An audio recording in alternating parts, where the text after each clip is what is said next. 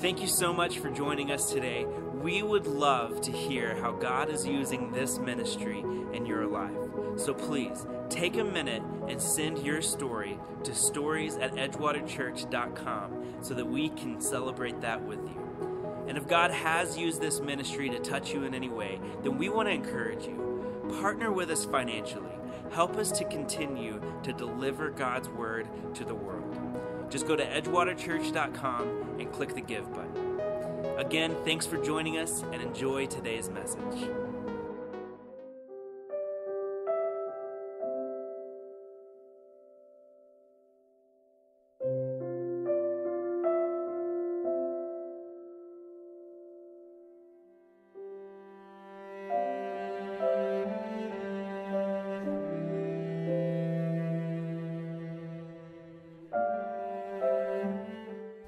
First candle reminded us of hope, and today we light the second Advent candle, the candle of peace.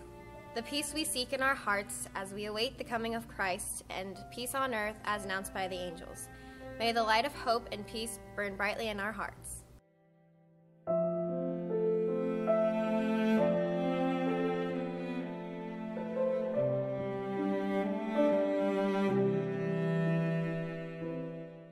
Let's pray. God, we live in a world that provides us with little peace. Our schedules are full and we don't make time to be still. Your promise that you will give us peace so that we no longer have to be troubled are afraid. Lord, send your peace. Amen. As I was growing up, um, my dad worked for IBM, and uh, if you've worked for IBM, you know that IBM stands for I've Been Moved and, and we definitely were. Um, after being born in Cincinnati, we lived two different places in Indiana, four different places in Tampa, and now as a pastor, I went to seminary in Kentucky, and I've served three different churches here in Florida. And, and in all of these places, there was always a time, especially at the beginning in that transition time, where, where I just kind of felt out of place while we were settling in. The big adjust, biggest adjustment, though, came when I was in third grade because we moved from Indianapolis to Manila in the Philippines. Uh, it was a big adjustment. Now, granted, we, we went to the international school there. We weren't totally immersed in the culture necessarily, uh, but there, there's a new language around us. Uh, there were people who looked different from me. There were different customs, different ways of getting things done, and of course, lots of different foods. Uh, things like adobo and balut and, uh, and ube ice cream. Now, uh, ube ice cream is this bright purple color, and you can imagine for a third grade boy to have this like almost glow in the dark purple ice cream as a possibility. You're like, yeah. And so, so we, we said, well, what is that? What, what, what is it? Uh, what is that we're interested in trying it? And so we asked the person behind the counter what ube ice cream tastes like, and he said, ube. Didn't help very much. Um, but actually, you know what? I recently looked it up, and ube, it ends up that ube is a purple yam. So, uh, good thing I didn't know that then. Um, so, if you happen to like purple yam ice cream, then ube is right up your alley. Um, but anyhow, so there, there I was in this in this strange place with, with my blonde hair. That's my, me and my little sister sitting on a, a carabao, and uh, um, I, I stuck out like a sore thumb. Uh, in public, actually, people, as we were walking through the market, people would, would reach out and touch my head just to see if the hair was real, see if I was, I was a real, a real person. I, I often felt uh, pretty out of place. Uh, today we're going to look at a movie where, uh, where someone else was out of place. Actually, I, I hadn't watched this movie at all until uh, this week getting ready for the message, but the rest of the folks on the worship planning team, they were like, this is great. And, and last week when we had you holler out your Christmas movies, many of you hollered this one out. In 2003, New Line Cinema introduced us to Buddy the Elf. So let's take a look.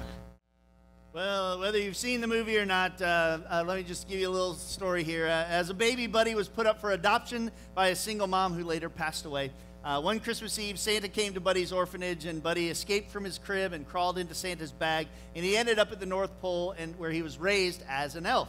Uh, of course, he grew to be much bigger than the elves, like you saw there, but he still considered himself to be an elf. Eventually, he found out that he was human and he learned that his father lived in New York City. So the movie tells the story of Buddy's journey to New York uh, and his quest to finally meet his father. All along the way, Buddy spreads this Christmas cheer uh, with everyone that he meets. So, like each and every one of us, Buddy grew up in a particular culture. There were some things that, that defined who the elves were. There were those three main rules for being an elf uh, treat every day like Christmas. There's room for everybody on the nice list. And read this last one out loud with me. The best way to spread Christmas cheer is singing loud for all to hear. Um, they also had some core values uh, hard work and presence and being nice to each other. Uh, and if you saw the movie, you remember they also had their own four food groups candy, candy canes, candy corn, and syrup. Uh, some of you can identify with, with that a little bit. Uh, so, so that was Buddy's core culture. Um, and as he went around in the different culture of, of New York City, though, he stayed true to his core culture of who he was. As followers of Jesus, we have a culture that we come from as well. There, there are things that should define us as Christians. Think about that for a second. What are, what are these things that should define us as Christians? And let, let me go ahead and hear from you. What, just shout it out loud. What are some things that should define us as Christians? Loving, okay? Okay? Yeah?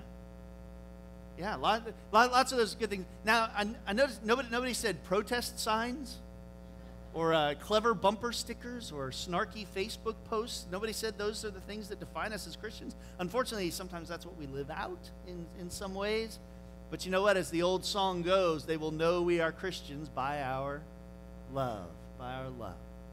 If we are truly living as followers of Jesus, then our cultural behaviors should mirror the, Jesus, right?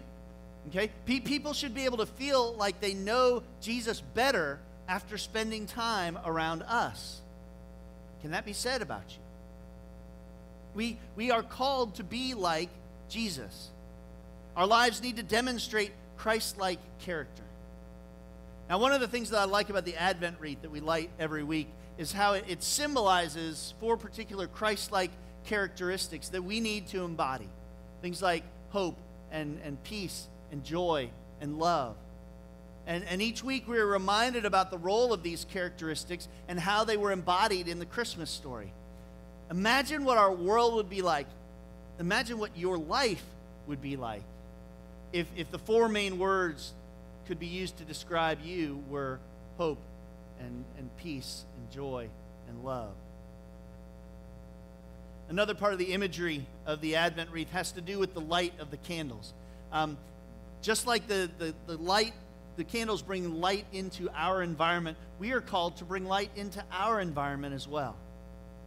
Jesus himself came to be the light. This is what he said in John chapter 8, verse 12. It says, Jesus spoke to the people once more and said, I am the light of the world. If you follow me, you won't have to walk in darkness because you will have the light that leads to life.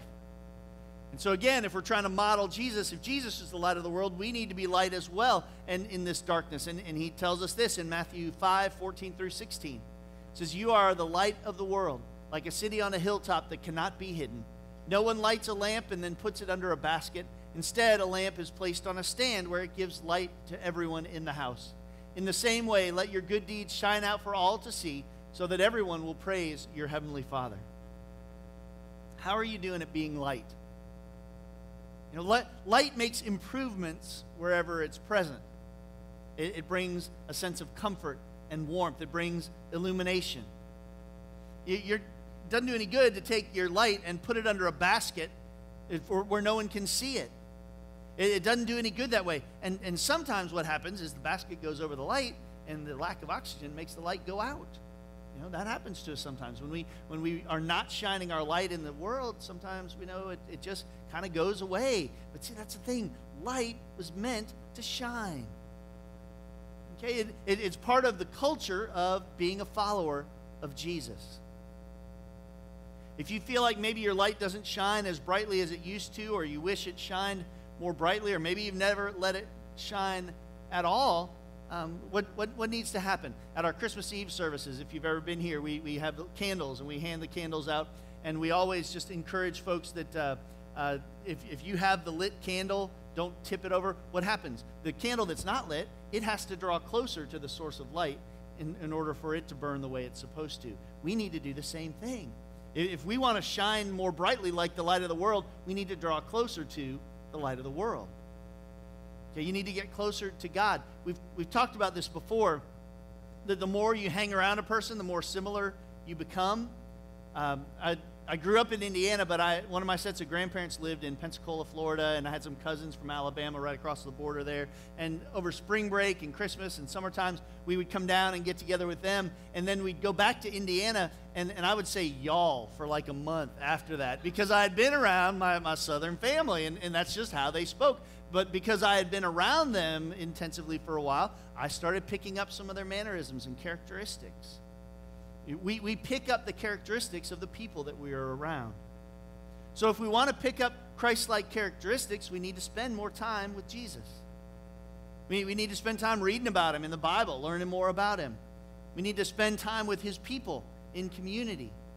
We need to, uh, to grow in our relationship with him through prayer. Because the more that we are around him, the more that we'll be like him. Also, the more that we are around him, the more that we'll recognize him. Uh, Jesus uses the imagery of the sheep and the shepherd in John chapter 10, verse 27. He says, My sheep listen to my voice. I know them, and they follow me. Okay, the, the more time the sheep are around the shepherd, the more they get to know the voice. The, the, the shepherds would, would park all their sheep from all the different shepherds and from all the flocks kind of in just one big uh, pen at night. They, they didn't have like a coat check system for the different sheep. What would happen is the shepherd would come in the morning and go, I don't know, he'd say, hey, y'all sheep, let's go. Whatever, I don't know what they would say, but the sheep would know the shepherd's voice, and the correct sheep would weave their way out of that group to get a chance to walk with the shepherd. And so, um, because they had spent so much time around him, they knew the shepherd's voice. Okay? Now, I, I'd never, uh, I hadn't seen Elf before uh, this week, but one of my, one of my favorite scenes involved uh, Buddy in New York City, and he had just found out that Santa was supposed to show up the next day. Let's take a look. I, I love I love the passion and excitement of Buddy getting to see Santa. That he's like, yes, I, I know him. He, he just couldn't wait to be in Santa's presence. Wouldn't it be cool if we had that same type of passion and excitement about God stuff? That, we'd wake up on Sunday morning and go, Yes, I get to go spend time with God today. Is so odd. Like the commercial, what, what day is it? Church day, you know, and we just get so excited. And, and, and we need to have that same type of passion and excitement about being in God's presence. And, and, and you could see just that, that joy but then it all kind of turned when he actually saw who was there. How, why was Buddy able to recognize that counterfeit Santa so quickly? Because he intimately knew the real one because something didn't look right about that one. Something didn't smell right, like beef and cheese or whatever. He, he sized up what he saw with what he knew. And we need to learn to recognize the, the smell of the beef and cheese out there, you know? We, we need to know what doesn't smell right and what doesn't look right. I, I know I mentioned it before, but I want to give you permission to think critically, okay? Never take what I say or what anyone else says for granted. God gave you a brain for a reason. Use it. Check, check out what is told to you. Check out what is said. Check it out against the Bible. Okay? Take some time to do that. Jesus warned his followers that there are going to be some folks who would come along and, and try to teach the wrong things. He said this in Matthew 7 15. He said, Beware of false prophets who come disguised as harmless sheep, but are really vicious wolves. There are lots of things out there that may sound good, but they may actually be contrary to the culture of the kingdom of God. Now, along with checking things out against Scripture, um, you also need to compare it with Jesus. Okay, I know that the whole WWJD, what would Jesus do, that that's so overly cliche, but the reality is it's not a bad measuring stick. Okay, if we're supposed to be like Jesus, then we need to be able to model his behaviors and, and do what he would do. So, how would this look in real life? Let me give you an example here. Sometimes, um, we, especially early on, maybe in our relationship with God, we, we think that we have to get our act together before we come to Jesus. You know, that, that we feel like we have to get here, but really we're down here. And so we have to grow more before God would want anything to do with us, before He, he could ever use us for anything, and, and, and before He would ever even want to hang out with us. We, we have to get up to this certain point. But take a look at Jesus' life reflected in the scriptures. Did Jesus only spend time with those who were, were uh, righteous? No, he didn't. He, he was constantly hanging out with folks that the religious community considered to be vile sinners. So he was sitting around having dinner with these folks, and I don't think that he was like sitting there at the table going, Ooh, don't get too close to me. Or um, pass the salt, but you need to stop being bad. Uh, oh, may I please have the bread? Go and sin no more. I don't think that's how Jesus handled those situations. I, th- I think he just genuinely loved people. And, and people loved him too. I, I think that they wanted to be near him and that they wanted to be different because of his example, because they had been near him. Jesus didn't just sit back and let people come to him. He actively went and pursued them. He called them down out of sycamore trees. He, he talked to them at their places of work. He, he met them where they were hungry and sick. He talked to them at church. And if Jesus was willing to do all of that for people who were far from him, then surely he wants you to come to him just as you are. That you don't have to wait till you get to whatever imaginary point that may be. He wants you just like you are. And, and even beyond that, he wants us who are followers of Jesus already to be willing to go and meet people where they are. Maybe not yank them down out of sycamore trees, but, but to talk to them at their places of work, to, to meet those who are hungry and sick, to, to talk to them at church. Wherever we go, we are called to represent the culture of Christ. If, if we are followers of Jesus, then our lives are transformed and we're given a job to do. There's a, there's a section of scripture in 2 Corinthians 5, 17 through 20. The first verse we look at a lot, and, but the rest is, is great for what we're talking about today, especially, where it says, uh, This means that anyone who belongs to Christ has become a new person. The old life is gone, a new life has begun. Okay, so that speaks to that transformation that occurs. But it goes on and it says, And all of this is a gift from God, who brought us back to himself through Christ. And God has given us this task of reconciling people to him. For God was in Christ, reconciling the world to himself, no longer counting people's sins against them. And he gave us this wonderful message of reconciliation. And then here's our job to do. He says, We are Christ's ambassadors. God is making his appeal through us. We speak for Christ when we plead, Come back to God. An ambassador is an accredited diplomat sent by a country as its official representative to a foreign country. Okay, so when we turn our lives over to God, we're, we're acknowledging that our true citizenship is in the kingdom of God, not the kingdom of this world.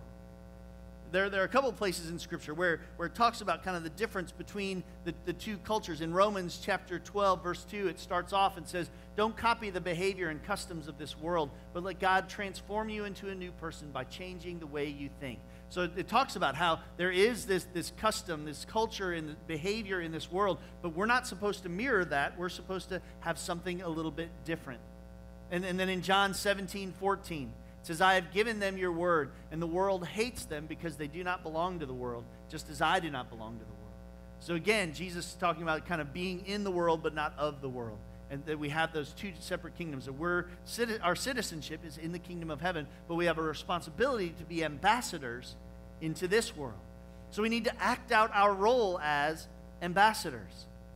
An ambassador speaks on behalf of the leader. The things that we that we say in our everyday life should represent Jesus. The words that we say need to be the words that he would say. The things that we do need to be the things that he would do. The characteristics of our life need to be the traits that characterize Jesus. Just as He is the light of the world, we need to be the light in the darkness of the world of somebody around us. How, how could you maybe be the light in someone's life? Maybe, maybe even just right now, as I, as I mentioned that, a, a name or a face came to mind. Somebody who needs some hope and love and warmth. Somebody who needs you to meet them right where they are and, and show them how much God loves them this Christmas. Or maybe you're sitting here today and, and you're realizing that, that maybe this is what you've been looking for. Because you've been wandering around in the darkness and, and you need some of these things that the Advent candles represent. You need to have a sense of hope and peace and love and joy in your life. And, and so we want to give you a chance to respond to that today, to be able to say yes to God and say, Yes, you know, God, I'm tired of wandering around in the darkness. I've, I've stubbed my toes and bumped my head too many times. And, and I want the light, your light, to come into my life. And so, why don't we do that right now? Let's take a moment. Let's pray together. God, thank you so much for this time that we have to be here today, for the way that you've called us uh, to this place, and there's not a single person who's here by accident. God, I thank you that you've given us the uh, awesome responsibility of being your ambassadors. God, I ask that you forgive us for the times that we maybe haven't taken that seriously, or that maybe we've done just not a great job doing that.